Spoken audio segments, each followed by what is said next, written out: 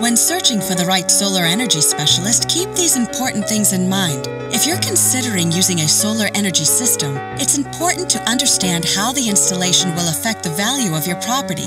Two of the more common questions are How much will my electric bill be reduced by?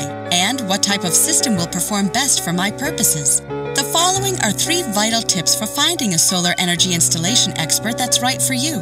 1. Various types of solar energy installations may be available depending on the roof space and or ground level property available for placement of solar panels. 2. Learn what types of permits need to be obtained and if the solar specialist will obtain them for you.